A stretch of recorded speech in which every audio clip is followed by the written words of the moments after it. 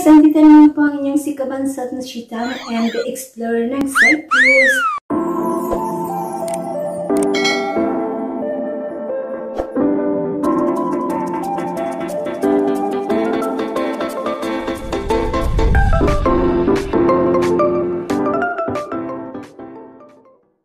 Ngayon ay 2.30 ng hapon dito sa, uh, sa bansang Cyprus at lunchtime na yan. Late lunchtime. Ika nga ng mga kunyang. Wala namang kunyang na maagang kumakain, di ba? So, lunchtime. Hindi ako nagluto, hindi ako kakain ng kanin dahil ang kakainin ko ngayon ay, siyempre ang aking kakainin ay mga kakanin na gawa ng ating mga kapwa Pinay dito sa Cyprus. Yan. Yung talagang pag, mahi, pag magaling kang magluto, no, makakagawa ka talaga ng paraan para kumita ng extra income. Yan. Tara na, ano pang hinihintay nyo? Kainin na natin yung mga kanila gawa nila at um, tingnan natin kung masarap. Siguradong masarap. Gawang Pinay, yan, diba? Yan. Hinihintay natin. Tara na, go, go, go, go! So, ayan, guys, ang ating pong kakainin ay, ano ba ito? Um, meron tayong puto, sinokmani, o kaya biko. Meron din tayong parang donut na gawa nila. Meron tayong puto kutsinta, meron tayong butsi, at syempre itong suma natin. Actually, hindi ako mahilig sa mga kakanin sa atin. Hindi ako mahilig. Purong kanin talaga ako. Pero dito sa Cyprus, syempre dahil may mismo mga pagkain Pinoy, kaya lahat makakain natin. So, try natin kainin ito guys na alam naman natin masarap dahil gawa, gawa ng ating kapwa Pinoy. Tara, tara, tara. Anong uunahin natin? Siyempre, unahin ko yung kutsinta. Masarap siya. Oh.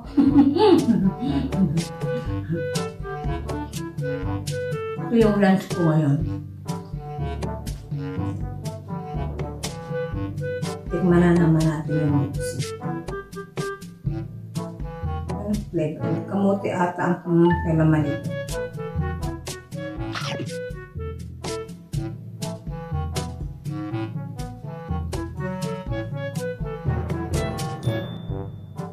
Ibang bansa, bawang lutewa po yung magaling kang magluto. Dapat pakinabangan natin sa isang bansa at pumunta tayo sa ibang bansa. Kumikisa tayo ng mga extra income. Hmm? Want to try? Try ng alaga. Ano? Hmm. Ano ba? What's Sa Philippine food. It's not sardines. Paborito niya ang sardinas. Hmm. Tapos kumain sila ng oshi. Try this. This is nice. Try this and say something. Say something. Try it. Nice. Hmm. Mahilig sila sa mga ano, Pinay food. Nilang tikman lahat. Siyempre, ang sobrang kamatayang kape.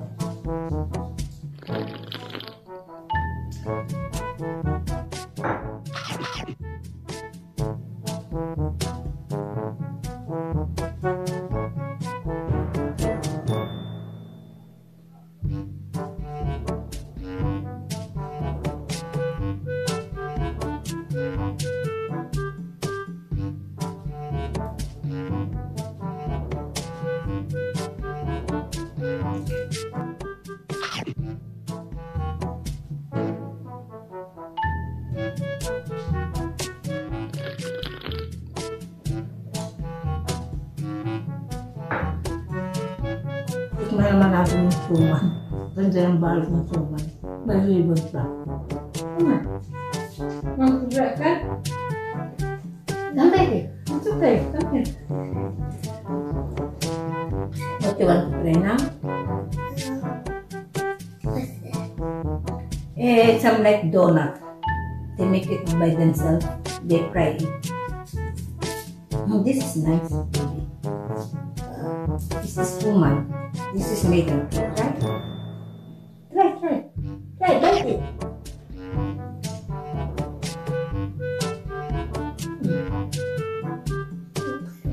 You don't want? I don't want.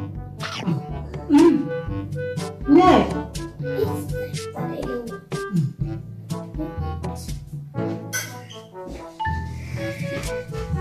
Broken, huh?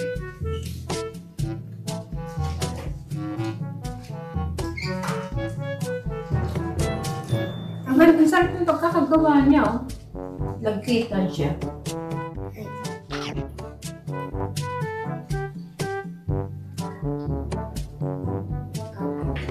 Finish mo? Kumain na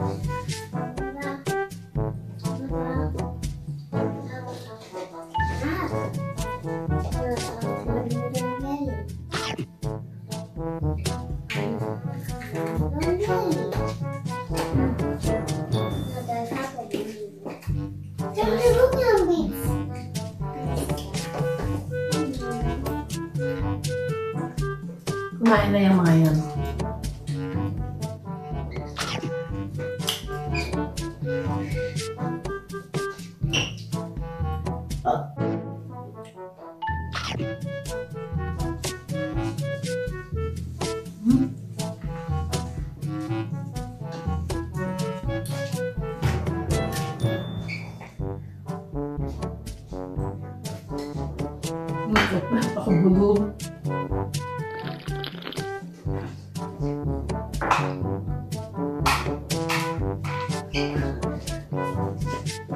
Hindi ko ito maubos kasi try lang natin.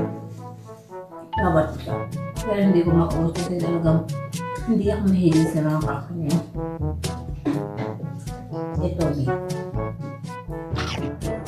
Hmm. Sarap!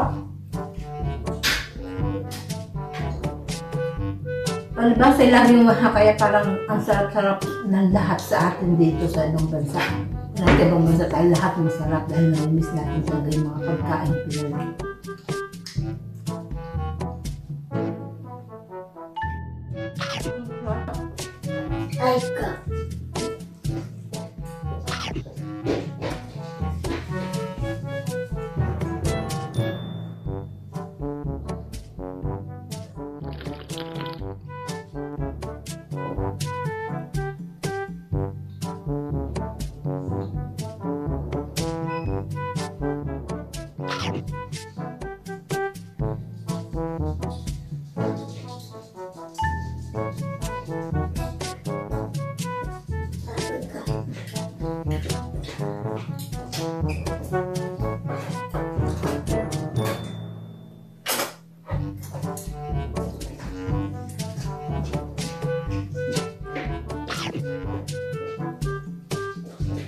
Sakang probinsya.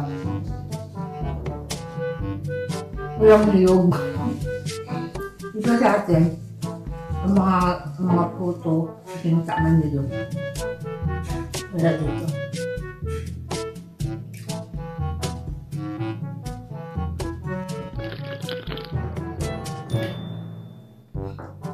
Hindi na ako mahilig ako mga nito. Tingnan naman natin ito yung parang, ano ba, hindi ko alam kung anong tawag dito, eh, parang donut-donut sa atin.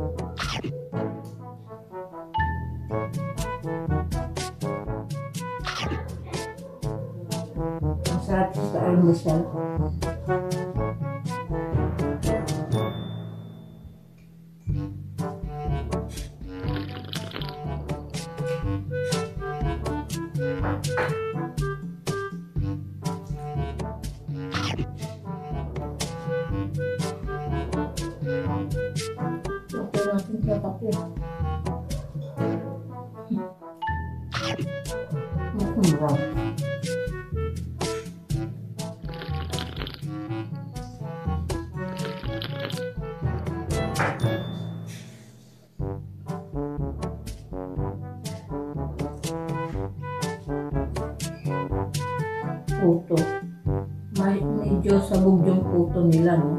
Medyo sabog. Pero okay din ang lasa niya. Sarap din siya. Medyo sabog lang.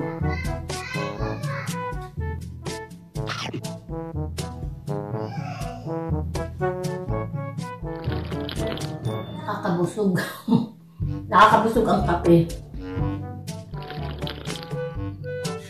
nabusog ako sa ano, busin ko ng itong kutsinta.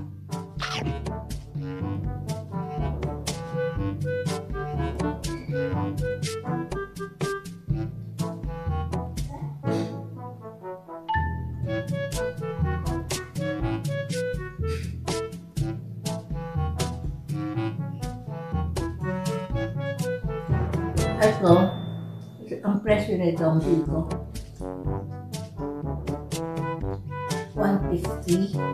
So, convert mo sa ano?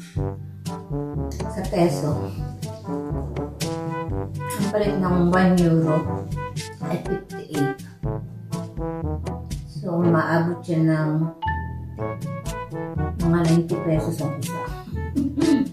Kaya pag bibili ka, gusto mong kumara, huwag mo na i-convert sa pe- sa peso. Bili ka na lang. Bili na lang tayo. So guys, busog na ako. Kung paano isla, mas isda. Panlaban tayo. Ah. Pero hindi ko na siya kaya kubusan kasi busog na ako. Sabi na lang natin.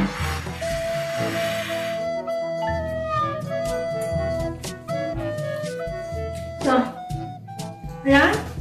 Pinakita ko lang sa inyo ang kung gaano ano ba yung katalento ang mga Pinay. Nagdala-dala hanggang sa, sa ibang bansa ang kanilang talento sa pagluluto. Yung diskarte, mag-discarding mga Pinay. Yeah? Kailangan mo talaga pag nasa ibang bansa, lalo na dito, free naman dito. Makakapagluto-luto, lalo na yung may sariling bahay, yan. Kung madiskarte ka, yan, kaya na sa diba? Kaysa naman sa boyfriend-boyfriend, magana. Ma- Okay na yun, nakakahanga yung mga kapwa natin Pinay na ang kanilang way of thinking na parang padagdag ng kita, magluluto sila ng mga kanin tulad namin na nakakamis naman, bumibili naman tayo, di? So, ayan, may, at makagawa na naman tayo ng isang content para sa ating channel. So, kaya, kung nagustuhan nyo, please like sa my video. And kung hindi pa kayo nakaka-subscribe sa akin, please subscribe to my channel and press the bell button para ma-update kayo sa, sa mga video ang gagawin ko. Ayun lang po, huwag po natin kalimutan na laging mag-pray, laging mag-ingat, yan. And God bless po sa lahat. Ah, shout out sa aking mga kapandak, sa aking mga anak, from kapandak, syempre sa leader ng aming si Inday Kulit Liit, ang tawag ko sa kanya. Yan, na very supportive talaga sa kanyang ate, sa kanyang kuya. I love you, Ineng. Yan. Salamat. Salamat din sa mga cactus na patuloy na sumusuporta sa amin, ng aking mahal na si Yes Tacolab. Yan.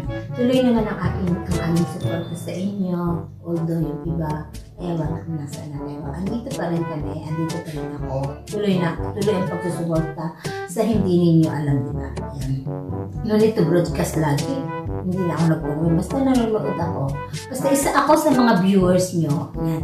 Um, sa aking mga kabahag. Hello, hello. Yan, mga kabahag. Bangon, bangon. Yan. Yan.